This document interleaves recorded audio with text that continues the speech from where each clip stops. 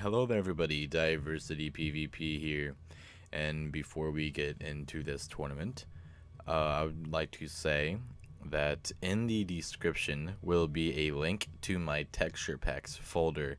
Yes, all the texture packs that I use in my videos, the ones that you constantly ask me about in the comments or on Skybounds or even when I'm practicing, oh yeah, they're all going to be in there. You can sift through them uh, and then delete the rest because I'm not gonna, you know, put each one uh, in the description individually. That would literally take like two hours, and I don't feel like taking two hours to do that. So I'm just gonna give you the whole entire folder. Uh, yeah, enjoy the video. Think I can fly. Think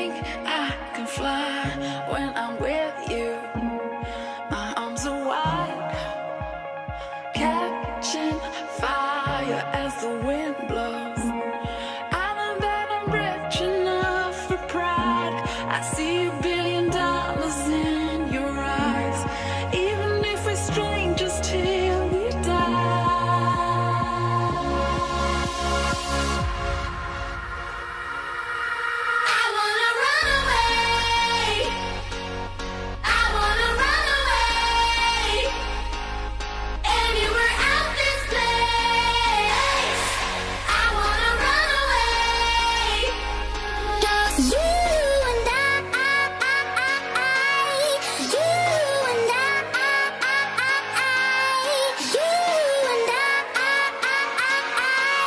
Yeah.